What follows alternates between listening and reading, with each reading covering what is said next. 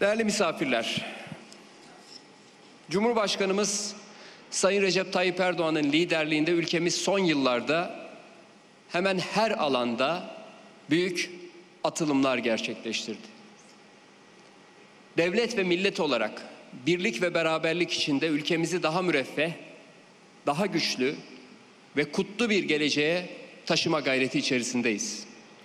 Ulaşımdan savunmaya, dış politikadan eğitime, ticaret ve ekonomiden kamu yönetimine kadar hiçbir meseleyi atlamadan her alanda büyük bir iddia sahibi olmak için yine Cumhurbaşkanımızın liderliğinde var gücümüzle çalışıyoruz.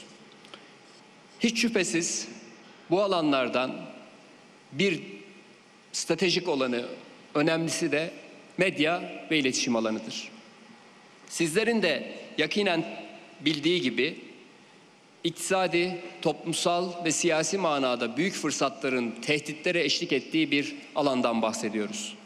Zira günümüzdeki medya düzeni çok büyük fırsatlar sunduğu gibi yine hepimizin şahitlik ettiği üzere olağanüstü tehditleri de bünyesinde barındırmaktadır.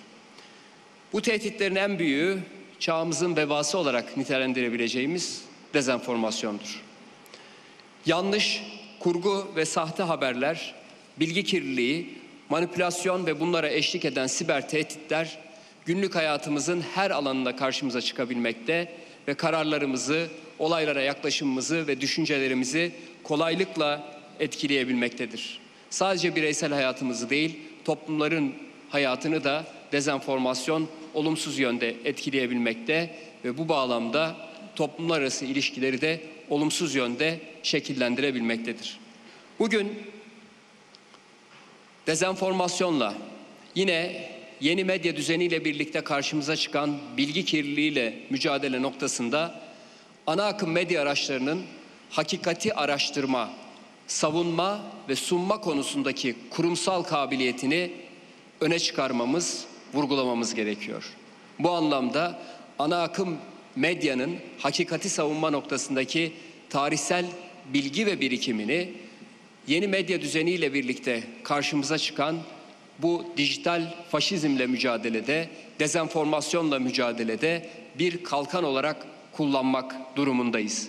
Bu anlamda sadece bir mesleki birikimden bahsetmiyoruz. Aynı zamanda bir hakikat aktivizminden bahsediyoruz. Ana akım medyanın bugün özel sektörden kamu yayıncılığına kadar bu bağlamda üstlenmesi gereken misyon dezenformasyon, sistematik yalan kampanyalarına karşı hakikatin sesi olmaktır. Ve bu noktada kamu yayıncılarımız, TRT başta olmak üzere Anadolu Ajansı hakikatin savunusu noktasında örnek bir performans ortaya koymakta ve bu bağlamda tarihsel bir sorumluluğu, fonksiyonu yerine getirmektedir.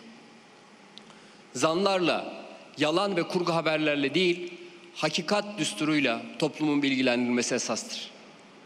Bu prensip doğrultusunda hakikate ışık tutan bir medya düzeni bir ülkenin ulusal demokratik kültürünü geliştirebileceği gibi onun uluslararası konumunu da güçlendirecek asli bir unsurdur. Bölgesinde güçlü, küresel düzlemde oyun kurucu, istikrarlaştırıcı bir aktör olarak Türkiye tam da bu yaklaşımla hareket etmekte. Birçok alanda olduğu gibi medya ve enformasyon alanında da hakikat mücadelesi vermektedir. Bugün bütün dünya hepimizin malumu İsrail'in 7 Ekim'den bu yana Gazze'de sürdürdüğü zulme tanık oluyor değerli katılımcılar. Ve hepimiz biliyoruz ki İsrail'in hukuksuz ve insanlık dışı saldırılarıyla Filistin'de son yılların en büyük zulmü, en büyük vahşeti yaşanıyor. Bir soykırım yaşanıyor.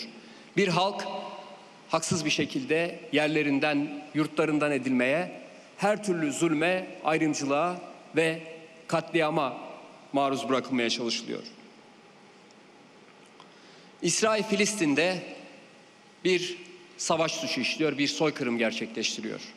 Fakat üzülerek belirtmek istiyoruz ki küresel vesayet düzeni ve onların güdümündeki uluslararası medya kuruluşları İsrail'in zalimce acımasız saldırılarını kamufle etmek dahası çok daha acısı meşrulaştırmak için büyük bir ikiyüzlülük örneği sergiliyor, büyük bir kötülük performansı ortaya koyuyor.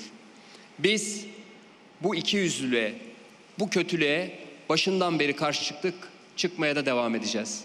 İsrail'in yalanlarını, sistematik dezenformasyon kampanyalarını ifşa etmeye dönük gayretlerimizi başından beri sürdürdük, sürdüreceğiz.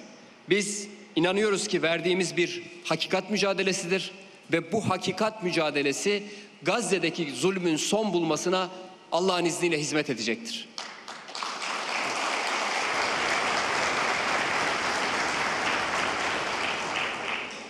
Bu süreçte İletişim Başkanlığımız bünyesindeki dezenformasyonla mücadele merkezimiz, Anadolu Ajansımız ve TRT'mizin ortaya koyduğu kanıtlar İsrail'in Gazze'de, Filistin'de ortaya koyduğu zulme ilişkin, soykırıma ilişkin kanıtlar bugün uluslararası alanda İsrail'in yürüttüğü zulmü, gaddarlığı ve soykırımı ifşa etmekte, tescil etmektedir.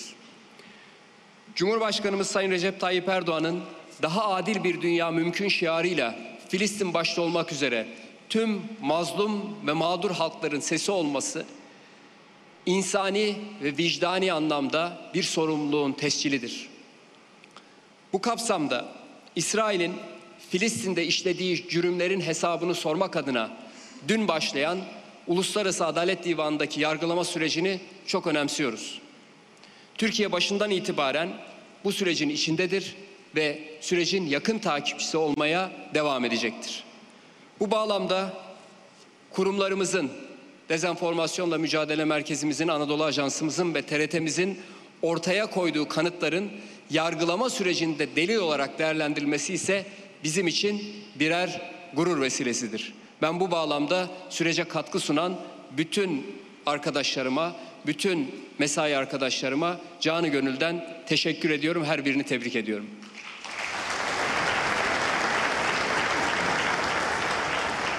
İnanıyorum ki bu dava ve yargılama süreçleriyle İsrail'in hukuku ayaklar altına alarak işlediği suçlar uluslararası yargı mercileri tarafından da kabul edilir, tescil edilir ve gereken ceza uygulanır. Kıymetli katılımcılar, değerli misafirler.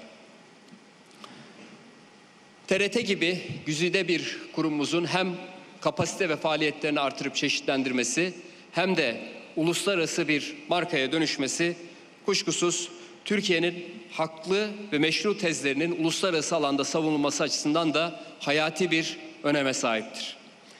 TRT Akademi bizim Türkiye Cumhuriyeti olarak iletişim ve yayıncılık alanında ortaya çıkan fırsat ve sınamalara ne kadar ciddiyetle yaklaştığımızın açık bir göstergesidir. Medya ve iletişim alanında sadece aktüel bir mesele olarak değil, bir eğitim alanı olarak yaklaştığımızın ve bu alanda kurumsal kabiliyet geliştirmeyi önemsediğimizin bir kanıtıdır.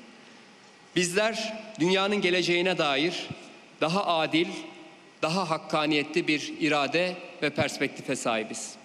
Bunun için de diğer alanlarda olduğu gibi iletişim ve medya alanında da her şeyden önce adalet talebinde bulunuyoruz. Ve sürdürülebilir ve sürekliye sahip somut eylemler ortaya koymak için çaba sarf ediyoruz. Hiç şüphesiz TRT Akademi platformu bu konuda ülkemizin sahip olduğu insan kaynağı potansiyelinin çağın ruhuna uygun niteliklerle donatılması adına en somut projelerden birisi olarak öne çıkacaktır. Bu platformun teşekkül etmesinde TRT'nin öz kaynaklarının kullanılması da ve yine tüm aşamalarının kurum içi mekanizmalarla temin edilmesi de bizim için bir memnuniyet, bir gurur vesilesidir.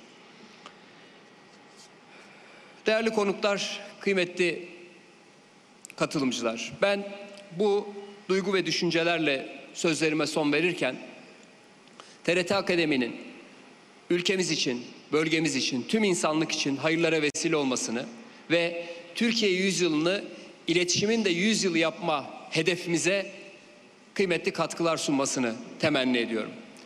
TRT Akademi'ye katkı sunan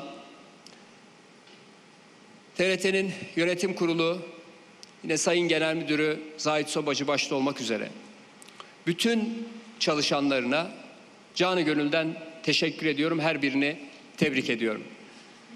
Bu önemli proje çok yaşasın ve bu önemli proje gerçekten ileride medya ve iletişim alanında yerli ve milli, ülkesinin geleceğini esas alan, ülkesinin büyümesi için çalışan, haktan hakikatten yana olan ve hakikat mücadelesinin neferi olan nitelikli öğrenciler yetiştirmesini diliyorum. Hepinizi Allah'a emanet ediyorum. Sağ olunuz, var olunuz.